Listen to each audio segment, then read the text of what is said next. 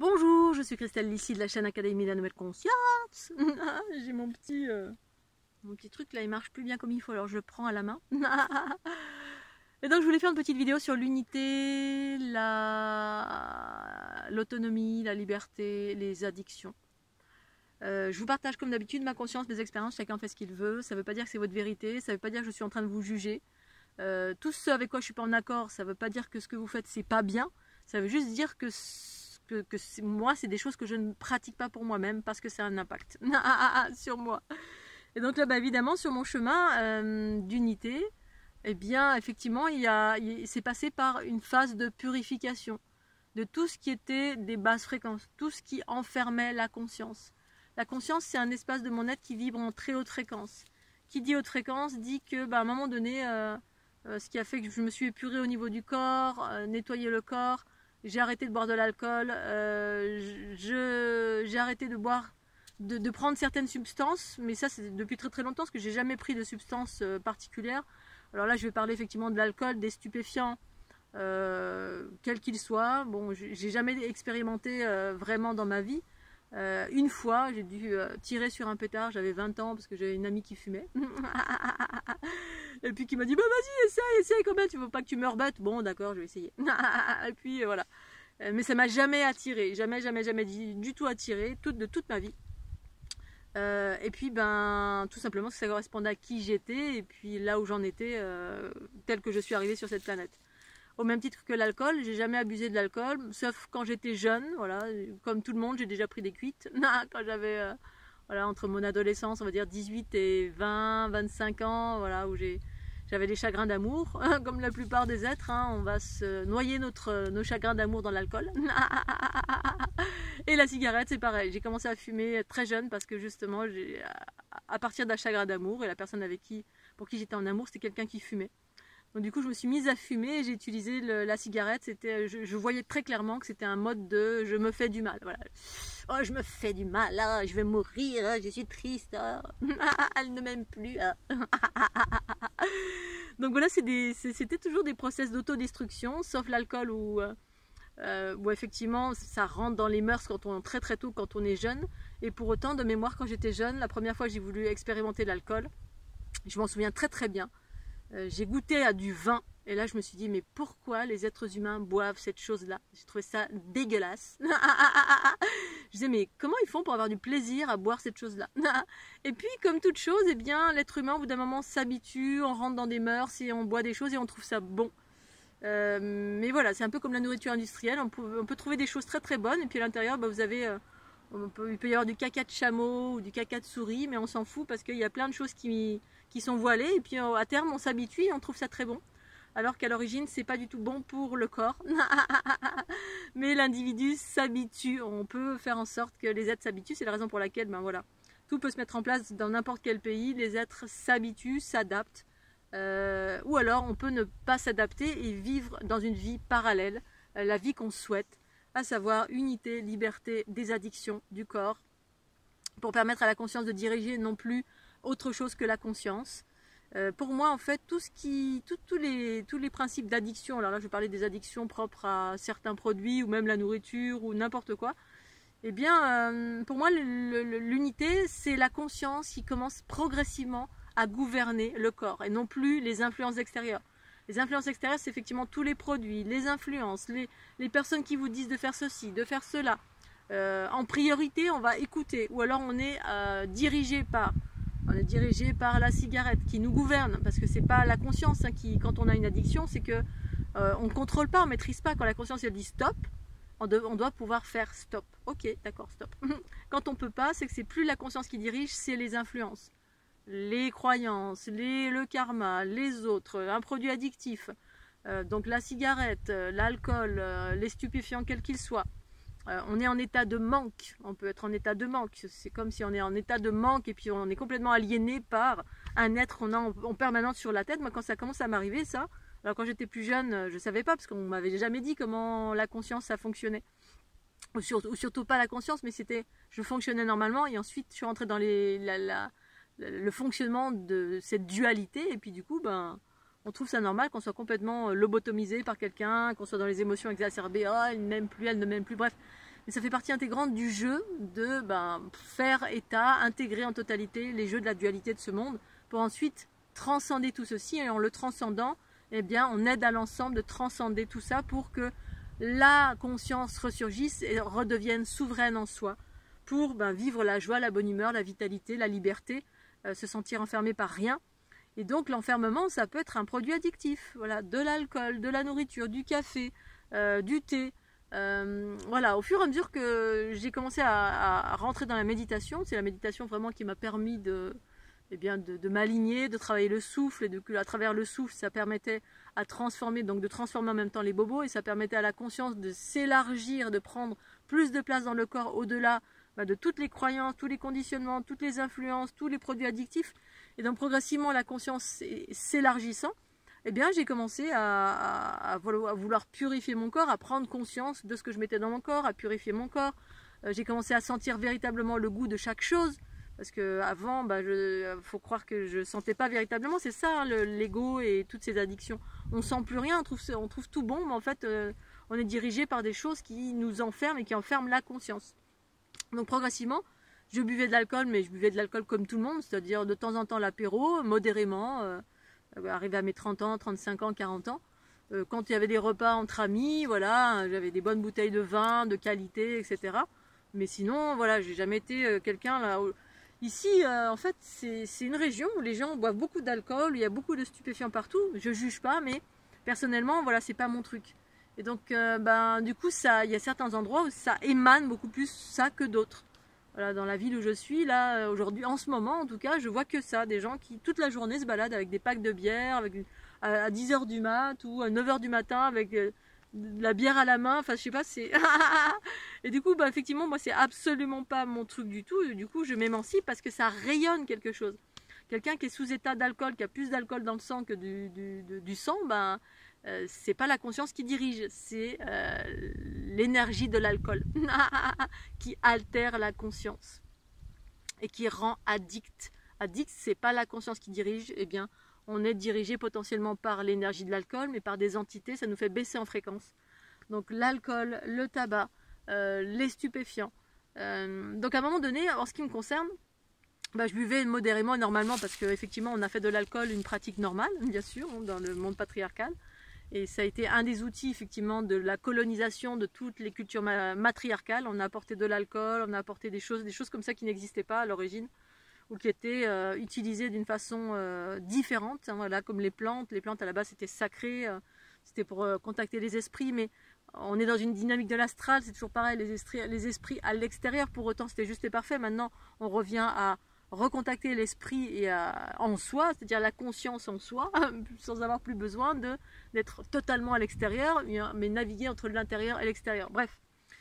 Pour revenir à l'alcool, bah, à un moment donné, euh, au fur et à mesure que je pratiquais la méditation, je pratiquais le souffle, je pratiquais euh, euh, voilà l'épuration de tous mes bobos, eh bien, je continue à boire un petit peu de temps en temps. Moi, j'aimais beaucoup le, le champagne, c'était mon alcool, voilà, de temps en temps quand je sortais en soirée ou du vin de qualité quand je recevais des personnes. Je quelqu'un qui, aimait bien recevoir, mais pas outre mesure, mais qui aimait bien cuisiner et bien m'occuper de mes, bah, mes, convives. Donc j'avais tout le temps des, vins de qualité grâce à mon beau-frère. Merci mon beau-frère.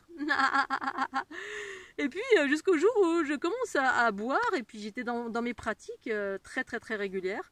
Et puis j'ai commencé à sentir parce que lorsque la conscience s'émerge en soi, bah, ça amène de la légèreté, hein, ça accélère l'auto-vibratoire, ça amène de, à de la légèreté. La légèreté, ça veut dire la joie, ça veut dire de la fluidité dans le corps, ça veut dire euh, que je me sens comme un élastique à chaque fois, très très. Ça, ça se ressent dans, bah, dans sa façon d'être au quotidien, sa façon d'agir, sa façon. C'est la conscience qui reprend sa juste place. Et puis un jour, je bois de l'alcool et boum, je sens tout le trajet de l'alcool dans mon corps. Ça passait dans tous les méridiens. Je sentais comment. J'avais l'impression que j'avais avalé une enclume. Ça me mes jambes se, transformaient en poteau, une enclume, et c'était totalement en inadéquation. Et jusqu'au jour, effectivement, j'ai mangé encore de la viande, et puis bah, progressivement j'ai arrêté la viande, etc. Puis j'avais encore des, choses auxquelles j'avais du mal à, euh, euh, j'avais du mal à m'arrêter parce que ça avait, il y avait une connotation festive, hein, comme voilà quand on mange du champagne, un bon sauterne avec du foie gras, etc. moi, j'étais, j'aimais bien les, bons produits, entre guillemets, bons produits relatifs à la dualité la normalité humaine, ou l'idée qu'on s'en fait, l'idée qui a été, euh, ben, Et on, est conditionné voilà, sur certains produits pour dire voilà, ça c'est un produit de luxe, c'est ceci, c'est ça. Mais quand on regarde derrière, bah, effectivement, c'est face à la conscience, c'est pas du tout un produit de luxe, c'est un produit qui provient d'un animal qui a souffert, qui a été gavé, qui a un, foie cirrhosé, bref, des trucs complètement euh, hallucinants. Et puis à un moment donné, bah, c'est plus en adéquation avec euh, ce que la conscience, la conscience émerge, vibre en haute fréquence.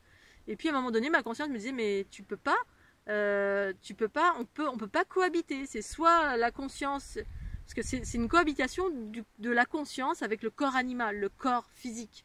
Et le corps physique fusionne quand il se purifie. S'il se purifie pas, ben on peut pas fusionner. S'il y a encore plein d'addictions de plein de choses, autant dans les états, émotionnels que dans la nourriture, que dans on est enfermé, on est addicté par des choses extérieures. Ben la conscience, euh, c'est quelque chose qui vibre en très haute fréquence, de l'information, de l'informationnel de très haute fréquence. Et à un moment donné, ma conscience me disait, mais euh, si tu veux fusionner, il s'agit d'arrêter de, consommer ou de vivre, de penser, paroles et actions euh, bah, en basse fréquence. Il fallait épurer. et puis bah, là, c'était un, dialogue que j'avais à l'intérieur de moi à un moment donné parce que je, continuais à manger du foie gras de temps en temps. J'étais une tête de mule, oh, j'ai encore envie, allez, assez festif. Hein. puis euh, jusqu'à ce que je vive une expérience voilà, où bah, j'avais carrément toute le toute la conscience du canard en moi qui faisait coin-coin toute la journée, gavé, avec tout, tout, euh, ce que ressentait le canard quand il était gavé, bref. Bref, donc été la dernière expérience, puisque, bah voilà, lâcher des choses de la densité, certaines choses, c'est pas évident. Quand il y a un carrefour entre la conscience et le corps qui résiste un corps, parce que en, en addicté par...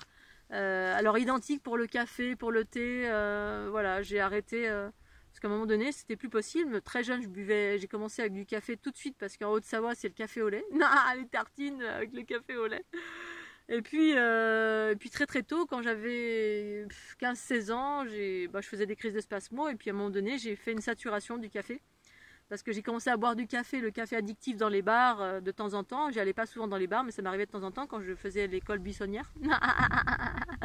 ça m'arrive pas souvent, mais j'ai eu une période où j'ai voulu arrêter l'école parce que c'était plus possible pour plein de raisons. Et puis euh, je buvais du café parce que c'était le truc le moins cher et puis j'aimais bien. Enfin j'aimais bien. Le truc le moins cher on va dire, hein, parce que pour un étudiant, voilà, c'est ce qu'il y a de moins cher mais c'est pas ce qu'il y avait de meilleur. Euh, les cafés de bar, je, trouve ça, je trouvais ça dégueulasse en gros. mais c'est comme pour tout, on s'y habitue au bout d'un moment, et puis pour faire comme tout le monde. Pour autant, j'ai jamais aimé faire comme tout le monde, mais là, à un moment donné, bah, au bout d'un café, de trois, cafés, deux cafés, trois cafés, j'ai vu euh, exactement tout ce que faisait le café en moi. Pourquoi ça me provoquait, ça me provoquait des crises de spasmophilie En fait, ça accélérait toutes les petites particules, ça excitait toutes les petites particules, ça m'exacerbait en termes de, sensibilité. Et euh, donc du coup, à un moment donné, j'ai plus pu boire de café à partir de, bah, je crois, 16 ans, 16-17 ans. J'ai arrêté le café purement et simplement parce que mon corps ne voulait plus ça. Euh, le thé, à un moment donné, c'est arrivé plus tard aussi, parce que justement, bah, je cherchais d'autres choses, hein, boire une boisson chaude, parce qu'on nous a appris à boire des boissons chaudes. Alors qu'après, j'ai modifié tout ça aussi. Et donc, euh, à un moment donné, du thé, du thé, du thé. Puis euh, pareil, à un moment donné, ma conscience était tellement, émergeait tellement que le thé, c'était pareil. Je sentais tout ce que faisait le thé en moi. Et après, la conscience qui me montrait, ben voilà, euh, à la base, le thé, c'était utilisé de façon, c'était aussi un, toute une cérémonie pour certaines cultures, notamment la, culture japonaise. Hein. le, thé, c'était une plante sacrée, comme nombreuses plantes, et qu'on en a fait des trucs complètement détournés, déviés. Bon, c'est ce que c'est, voilà, c'est le fruit de nos expériences mais j'ai plus pu boire de thé non plus. Donc en gros aujourd'hui, euh, je suis ravie pour ma part parce que tous les enfermements que ça, ça, pouvait produire sur moi, quand on est addict à quelque chose, bon moi j'ai jamais vraiment été addict, ça m'est déjà arrivé d'être addict si, euh, au coca quand j'avais 20 ans. ce qui m'a permis très tôt de me dire mais c'est quoi ce truc là C'est addictif en fait ce, Coca-Cola. J'ai acheté un litre de coca puis j'en buvais et j'avais encore plus envie d'en boire, en boire, en boire. Bref, dedans il y avait plein de produits effectivement qui, pour moi en tout cas, pour certains ça fait pas ça, mais pour moi je me suis rendu compte que j'avais euh, déployé une addiction. Et du coup pour moi, addiction égale enfermement, égale je suis en laisse. Euh, je suis en laisse. Alors euh, voilà, après il y a tout type d'addiction. On est addict à la nourriture, à l'alcool, au tabac, aux stupéfiants, ou alors ça n'a jamais été mon chemin tout ça, mais voilà, on peut être addict à l'amour, hein, aux émotions, à l'autre. Je suis addict, il n'y a personne sur la planète, qu'est-ce que je vais faire? Bon voilà, euh, je ne dis pas que je suis totalement asociale, hein, j'aime le monde, etc. Mais je choisis à chaque instant quand est-ce que je côtoie, tout en étant à l'écoute de ma conscience à l'intérieur de moi, comme de mon énergie, c'est-à-dire à l'écoute de la conscience et du corps physique réunis euh, quand j'ai envie de faire la bise ou pas, quand j'ai envie de côtoyer des gens ou pas, parce que ça implique plein de choses. Et puis dans ce contexte-là, effectivement, bah, je suis passée par euh, un épurement de mon corps. Et puis finalement, bah, un corps sain dans un esprit sain, pour moi l'unité c'est exactement ça. Voilà, un corps sain, un esprit sain dans un corps sain. Parce que ben voilà, on a expérimenté 3 milliards de choses euh, qui ben, impliquent effectivement qu'on puisse être enfermé. Et pour moi, ben, l'autonomie, l'unité, c'est tout sauf l'enfermement. C'est-à-dire, ben, euh, aujourd'hui, ce que je sens, c'est que je souhaite que rien ne m'enferme, d'une aucune, d'aucune façon, que rien ne m'enferme. Et en même temps, euh, c'est une vision aussi de la conscience. C'est-à-dire, ben, un individu peut se sentir enfermé en 30 secondes par rien du tout. Ben, par exemple, tout début, euh, j'avais beaucoup de personnes autour de moi qui râlaient parce qu'il fallait porter le masque, etc. Puis moi, je ne me sentais pas enfermée du tout il y a plein de choses où je me sens pas enfermée du tout. Voilà. Euh, et, ça, je sais que c'est relatif à la conscience, parce qu'il y a des limites, et puis je peux repousser les limites autant que possible, jusqu'à ce qu'à un moment donné, bah, ce soit plus ok, et puis que je fasse en sorte de, voilà, de m'émanciper de mille et une façons, en trouvant d'autres chemins, sans pour autant râler pendant dix ans contre ce qui m'enferme, selon ce qui nous enferme.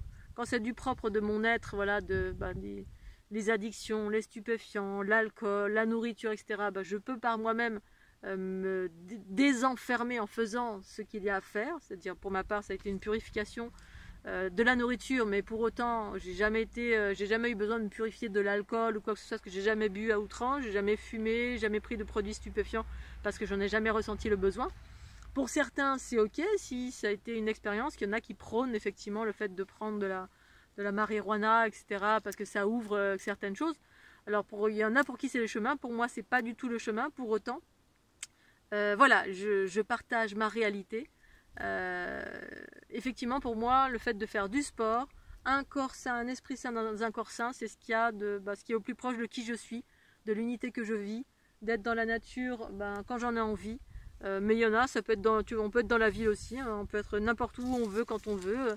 L'essentiel, c'est d'être dans l'équilibre et dans l'unité de son être, quoi que ce soit que vous viviez. Euh, mais voilà, mon parcours à moi, c'est celui-ci. Un esprit sain dans un corps sain amène à, vivre l'unité, c'est-à-dire l'émergence de la conscience qui gouverne, qui est enfermée par aucune, euh, aucune fréquence de basse fréquence qui vienne diriger mon corps à la place de ma conscience. Et donc tous les produits addictifs en font partie. Ça dirige quand on est addict, quand on a besoin d'une chose, quand on est en manque de quelque chose d'une façon telle que ça, ah, ça nous met de la souffrance, ou on va se mettre à râler, ah, j'ai besoin de, ah, je suis triste parce que, bon. Euh, et donc en fait tout ça pour moi, bah, ça m'amène à la liberté, à une liberté autant que possible, à de la fluidité, à de la joie. Euh, ouais, de la liberté, c'est ça, l'autonomie égale liberté, à tous les niveaux de mon être. Voilà Scooby-Doo Donc je voulais parler de tout ça. Euh, je continue à, un petit peu soit regarder les fourmis qui se baladent, soit escalader. Et puis j'espère que vous allez bien, que vous êtes toujours à l'écoute de ces hautes fréquences. Être à l'écoute, ça veut dire ben, faire ce qu'il y a à faire, aller où vous devez aller, euh, dans la nature, ou chez vous, ou tranquille, ou dormir, ou être à l'écoute. Et puis, euh, si vous utilisez les ondes de forme de la fleur de l'unité, eh bien, euh, bonne onde de forme. Voilà, je vous fais des gros gros bisous et puis pensez au petit pouce bleu. Tchuss, bye bye.